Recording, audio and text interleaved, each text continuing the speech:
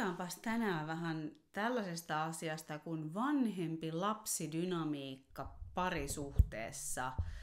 Ja tämä on siis varsin tyypillistä ja sanoisin, että on aika hyvin epätodennäköistä, että koskaan suhteessa tällaiset lapsi-vanhempi roolit ei aktivoituisi. Uh, mutta olisi kuitenkin tarkoituksenmukaista sellaisessa hyvinvoivassa parisuhteessa, että siellä valtaosan ajasta – olisi kaksi aikuista, jotka inhimillisesti, ymmärrettävästi hetkittäin taantuu lapsen kohtiin, koska näin meille vaan kaikille sanoisin, että äh, joskus käy.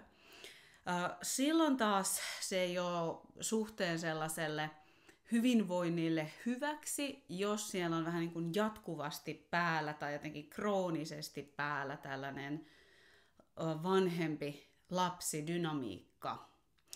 Ja varsin usein läheisriippuvissa suhteissa joku tämmöinen vanhempi lapsi dynamiikka on, ja ne ei nyt ole aina niin itsestään selvästi, että sinä olet se vanhempi, sinä olet se lapsi, vaan se voi vaihdella myös näiden suhteen osapuolien välillä ja vaikka jonkun tietyn osa-alueen alueella. Että vaikka jollain osa-alueella, niin mä otan hirveästi emotionaalista ylivastuuta ja on siellä alueella ikään kuin se vanhempi ja sinä ikään kuin se lapsi. Mutta sitten vaikka talousasioissa mä saatan olla se lapsi ja odotan sua olemaan se, ää, se vanhempi.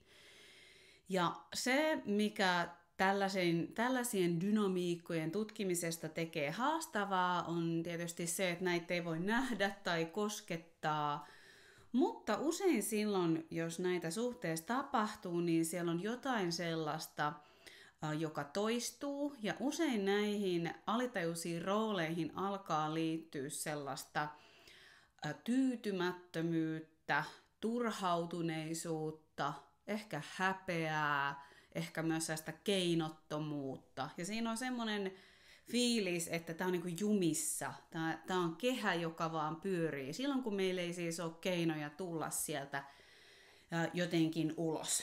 Ja tarkoituksenmukaista olisi siis se, että alkaa tunnistaa, että hetkinen, että nyt mä itse asiassa tässä meen tällaisen niin kuin avuttoman lapsen rooliin, tai tässä mä meen tällaisen paremmin tietävän vanhemman rooliin ja niin kuin huomata ja pysäyttää et erityisesti silloin, jos me ollaan taipuvaisia menee tämän vanhemman rooliin, niin silloin meidän tehtävä on vähän niin kuin back off, että tuppas vähän nyt poispäin sieltä hutiloimasta ja hyysäämästä, kontrolloimasta.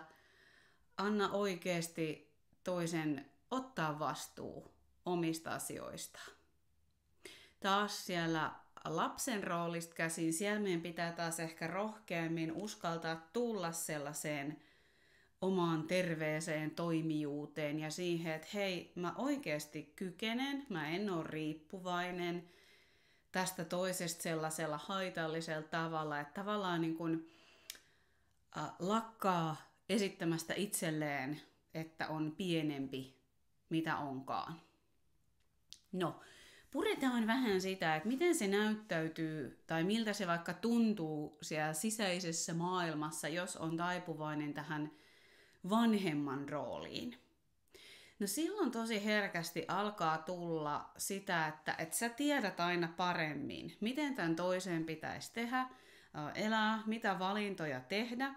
Ja sinne tulee ehkä sellaista ei välttämättä niinku paremmuuden tuntoa, mutta sellaista, että sä et niinku luota toiseen. Sä et luota sen lapsen erottelukykyyn, tai siis aikuisen, jota ikään kuin pidät lapsena, ja pelkäät, että se valitsee huonosti. Eli siellä alkaa olla epäluottamusta aika paljon sitä toista kohtaan. Ja tämähän siis voi olla täysin aiheellista. Mä en hetkeäkään sano, etteikö se olisi täysin aiheellista, että jos toinen on toiminut kuin lapsi, niin ei se herätä luottamusta. Ja ei meidän pidä esittää, että kaikki hyvin ja näin. Mutta silloin ratkaisu ei ole myöskään lähteä ähm, kompensoimaan sitä ottamalla itse tällaista vanhemman roolia.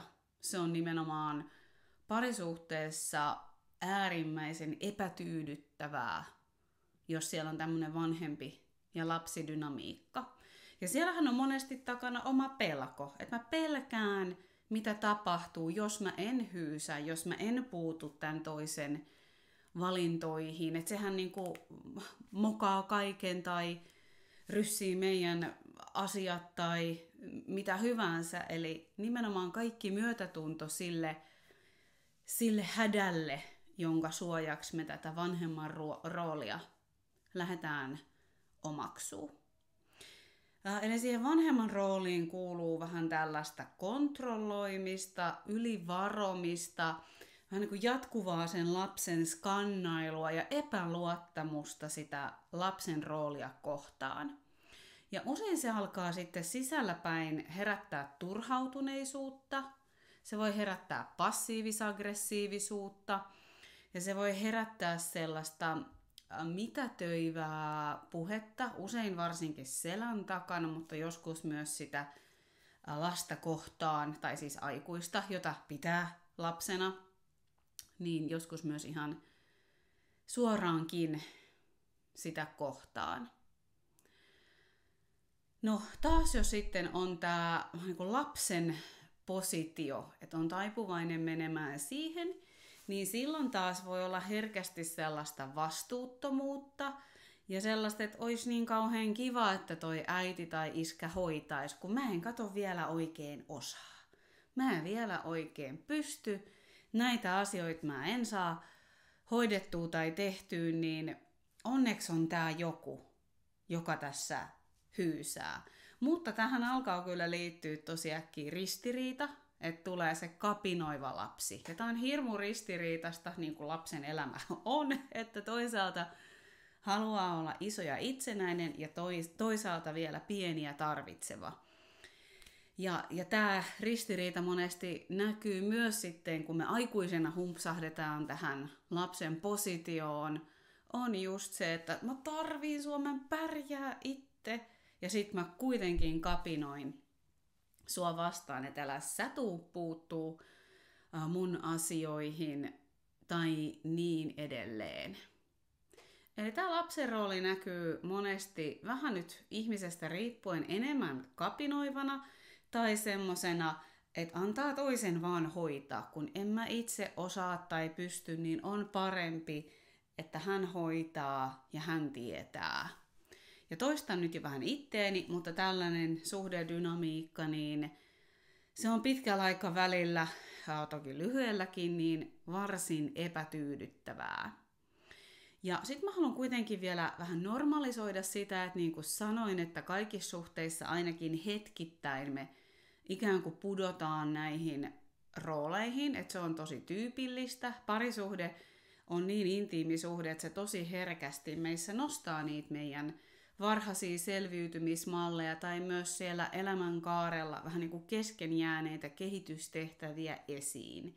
Eli näissä ei kannata mitenkään tuomita itseään tai tuomita sitä suhdetta, jos tätä huomaa, vaan enempi tulla tosi kiinnostuneeksi siitä, että hei kiinnostavaa, että, että tässä mä otan tällaista lapsen roolia, mistäköhän se tulee? Mikä kohta mussa kutsuisi nyt sitä, että nyt mä voisin oikeasti kypsyä ja suhtautua tähän asiaan vähän vastuullisemmin. Mitä se olisi sillä lailla terveellä tavalla löytää sitä omaa voimaa ja toimijuutta. Ja yhtä lailla, jos huomaa, että hei, tässä mä otan sitä vanhemman roolia, että hei, kiinnostavaa, että mikä pelko mulla on tässä taustalla. Mitä mä pelkään, että tapahtuu, jos mä en ota tätä? Mitä, mistä mun ehkä elämän kaareen kohdasta tämä on mulle tuttua? Missä kohdassa mun elämää mä oon lähtenyt ehkä ottaa ylivastuuta äidistä tai isästä tai jostain muusta ihmisestä? Eli aina kun näitä meissä ilmenee, niin ne on tosi, tosi iso portti ja mahdollisuus tulla tietoiseksi jostain niin kuin nyt toistan taas itteeni, niin oman kehityshistorian kohdasta, johon liittyy jotain, joka on jäänyt vähän kesken.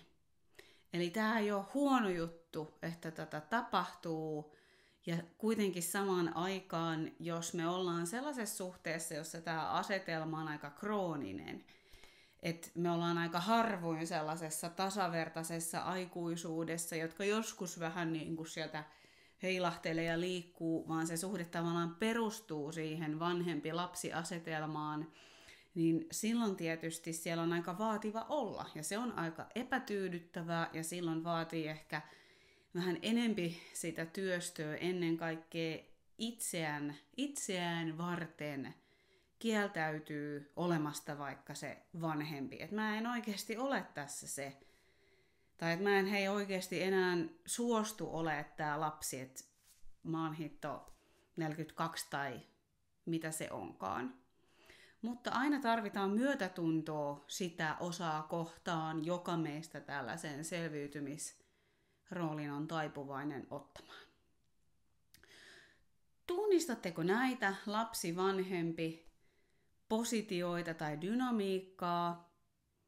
Usein tosiaan, niin kuin sanoin, niin läheisriippuvissa suhteissa ja se voi todella niin kuin vaihdella, että, että joillain alueilla ottaa sitä vanhemman roolia ja joillain sitä lapsen. Mutta vielä tähän loppuun niin vinkkailen ähm, inhimillinen itsetuntemus kuukausryhmästä, jossa seuraavan webinaarin aiheena on traumakemia-suhde, joka ei nyt suoraan tarkoita vanhempi-lapsi dynamiikkaa, se on hyvä tehdä selväksi, mutta toki aika herkästi tällaiset vanhempi-lapsidynamiikat näissä traumakemiasuhteissa on aika pakottavalla tavalla. Ja siellä voi olla aika pakottavalla tavalla se fiilis, että mä en, mä en selviä ilman tätä suhdetta. Se irtaantumisen ajatus tuntuu niin pelottavalta, että ihmiset joskus kuvaa ihan sitä, että se tuntuu samalta kuin, niin kuin kuolis. Että mä, mä en kestä ilman tätä toista. Niin, siis joulukuussa pidän inhimillinen itsetuntemus kuukausryhmässä webinaarin traumakemiasuhteista ja sitten tammikuussa jatketaan vielä siitä irtaantumisesta traumakemiasuhteesta. Eli jos kiinnostaa, niin www.inhimillinenitsetuntemus.fi tai sitten tuolta mun bion linkistä pääsee ilmoittautumaan mukaan.